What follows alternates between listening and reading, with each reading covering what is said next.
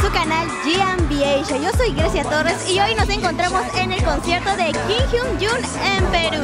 Obviamente te vamos a traer lo mejor, así es que no te pierdas este gran reportaje, una gran nota aquí en GMBH. Así es que.